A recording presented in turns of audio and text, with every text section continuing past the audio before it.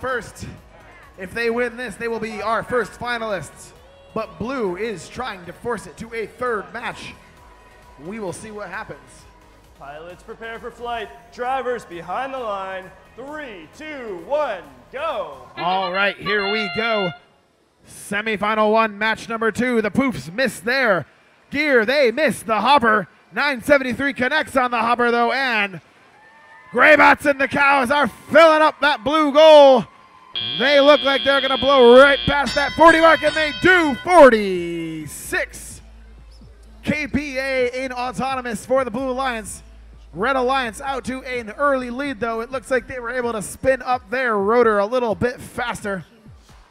Right now, 973 looking like they're trying to collect some balls, steal them over from 254's side of the field.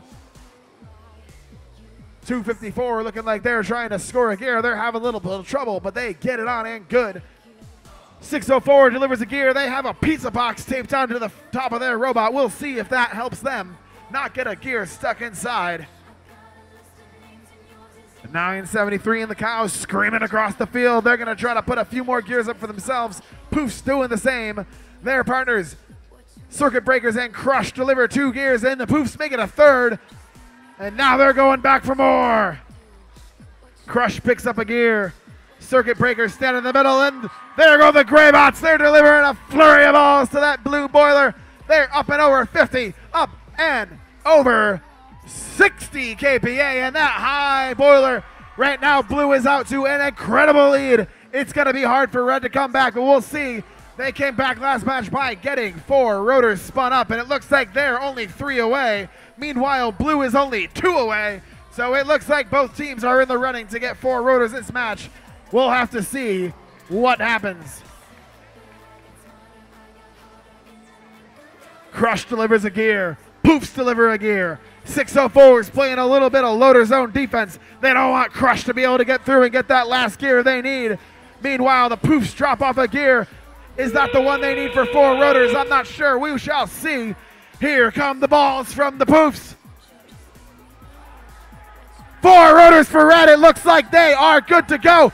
Right now, the ropes are down. We've got 17 seconds remaining. The cows are down on the field. We shall see if they'll make it.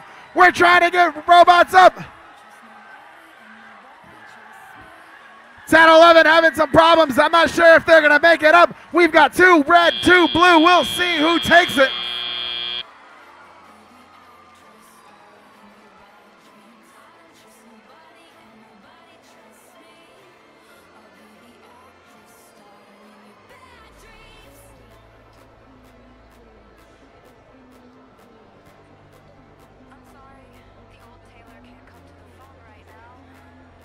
We've got the scores from that match, and we're going to one more. Red Alliance takes it 465 to 425. Wow. Woof. Crazy match there. Blue Alliance pulling it out at the end. Red Alliance, they had a lot of the pieces they needed. They could have executed, but weren't able to.